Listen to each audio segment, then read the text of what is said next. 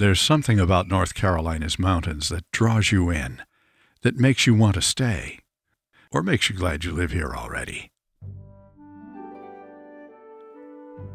For generations, beauty, recreation, adventure, and health have drawn people to the mountains of North Carolina.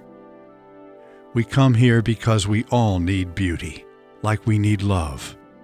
And to many, living here in the mountains is indeed a love affair. There's nothing anywhere that compares to our God given air conditioning. Our flowers, with their crazy beauty, tossed among the rocks like nature's confetti. To the sheer exhilaration of a mountain walk, alone or with friends. Taking your time, as if these few precious hours are vital to your very life.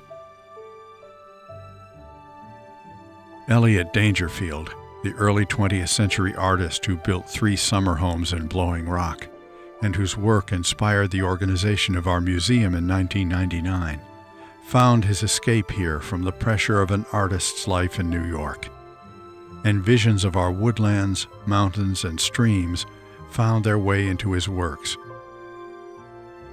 we are refreshed and reborn here in the high country, whether waiting for that big rainbow trout to rise from some deep pool to test our line and our patience, or testing our climbing ability against a rock face that's been there pretty much unchanged for millions, maybe even billions of years. And of course, enjoying the view from our blowing rock, refreshed by the cool breezes rising from the gorge. Adventure? Well, if you can't find adventure in North Carolina's mountains, it may not actually exist.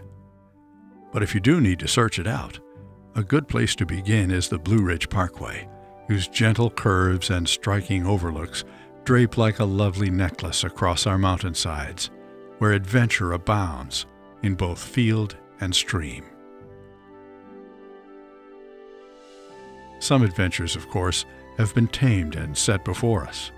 But who's to argue the challenge in that one hole that refuses to surrender even par? The slope that beckons us back like a snowy siren song. Or the quiet adventure of Blowing Rock's many attractions. From handsome hotels that seem practically hand hewn compared to modern cookie cutter ones, to shops and galleries that never cease to surprise and delight.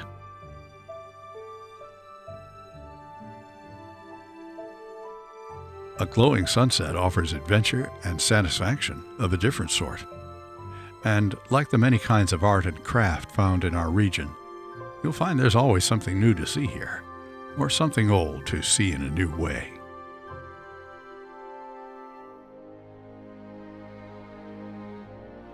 It is all of this and much more that draws us to North Carolina's mountains.